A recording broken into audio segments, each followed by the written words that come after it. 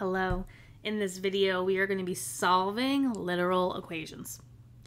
Solving literal equations is another way of saying take an equation or a formula with variables and solve for one of the variables. So if we look at example A, it says solve A equals BH for B. So just because this has letters in it, it does not make it harder right? It's just we're taking the same inverse operations that we did earlier in this unit and we're applying it to a formula. So just because it has letters, you're going to use the same things that you already know. Except instead of getting a number for an answer, your answer will still contain variables and that is okay. So I want to get B alone. Right now, B is being multiplied by H. How do we undo multiplication? Division. And so I am going to divide both sides by h.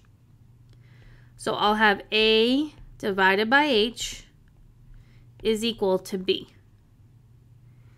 b is alone, so we have solved for b. This is your answer. If you would like, you could write it so that b is in front. But either way, this is correct. Your answer is B equals A divided by H. There's nothing else that you need to do. On example 2, it says solve A equals S squared for S. The inverse operation of a square is a square root. So to undo a square, we would take the square root of both sides. So I would have the square root of a is equal to s because the square undoes the square root. On example 3, it says solve p equals 2l plus 2w for w. So the first thing I want to do is I want to get 2w alone. So I need to move 2l to the other side. 2l is positive, so to undo it, I will need to subtract it. I'm making my L a cursive lowercase l. That way I don't confuse it for a 1. It's really important when you have formulas that you keep the letters capital that are capital and lowercase that are lowercase. Notice how here my A stayed capital and my H stayed lowercase. Same thing here for my A and my S. You always need to keep the letters the same capitalization that it already has because you know a capital W could mean something different than a lowercase w.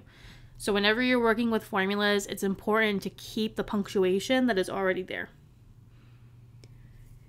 I don't know what p minus 2l is, right? They're not like terms. I cannot add or subtract them. So what you do with something like this is you just write it side by side. So P minus 2L is just P minus 2L. I'm going to bring down my equal sign. 2L minus 2L is 0. And I'll bring down my 2W. I still want to get W by itself. W is being multiplied by 2. How do we undo multiplication? Division. So I'm going to divide both sides by 2. So on the left side, I'm just going to keep it the same way that it is. P minus 2L divided by 2. And on the right side, I'll get W.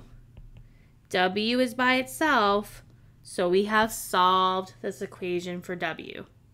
The answer is W equals P minus 2L divided by 2.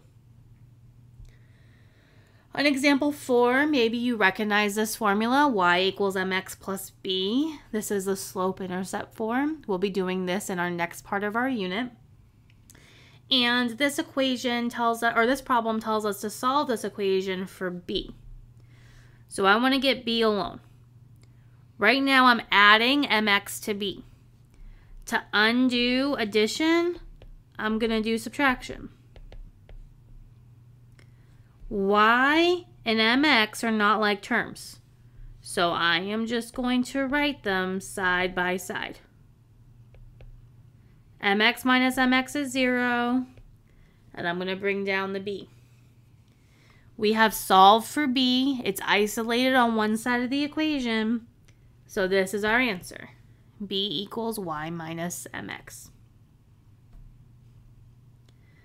On example 5, it says solve q equals c plus d divided by 2 for c. When you have a problem like this that has the variable that you want to get alone in a fraction, you need to get rid of that denominator first and make it not a fraction anymore. Having this denominator here is just like saying we are dividing by 2. How do I undo division? Multiplication. So I'm going to multiply both sides by 2. 2 times q is 2q, and 2 divided by 2 is 1. So that leaves me with c plus d. Now I want to get c alone.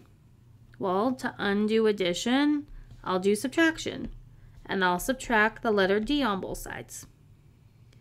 2q minus d will stay that way. I'll bring down my equal sign. I'll bring down c. d minus d is 0. So my answer is 2q minus d is equal to c. Example 6 is a little special case scenario. It says solve Q equals 3A plus 5AC for the variable A.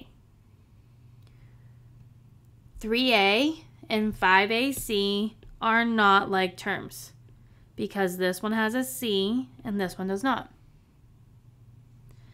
I can't just subtract this one over to the other side because it will still have an A in it and I need all the A's on one side of the equation.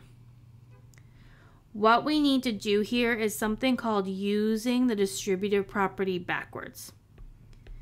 So it's like I had an A out in front here, and then I distribute it to both of these terms. If I did A times something, I would have gotten 3A. Well, that would have been if I had a 3 there, because A times 3 is 3A and then A times something else would have given me 5AC.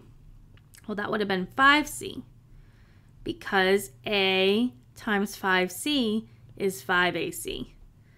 So what we did here was use the distributive property backwards.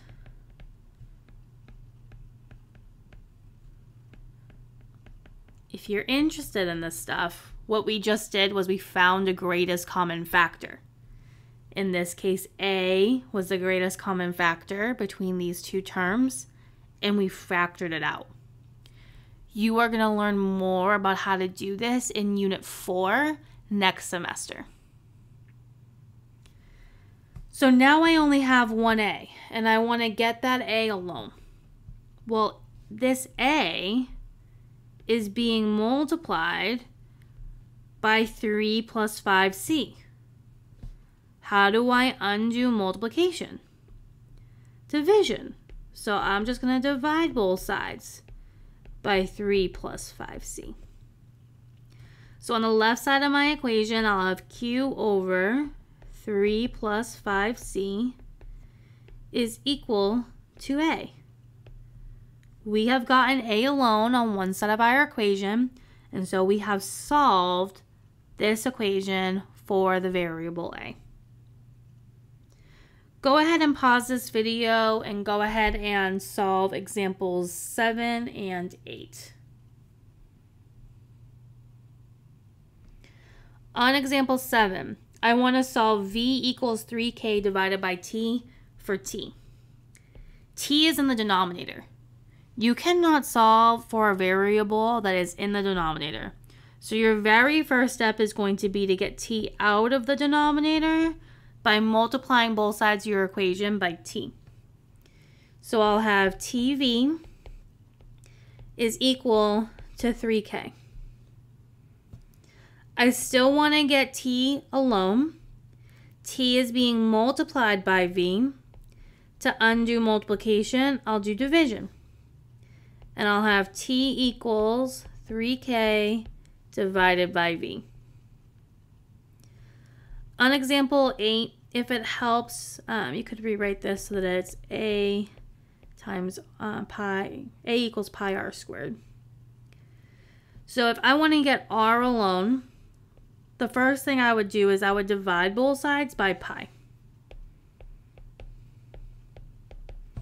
So I'm going to have a divided by pi is equal to r squared. To undo a square, we're going to take the square root of both sides. And so I'll have the square root of a divided by pi is equal to r.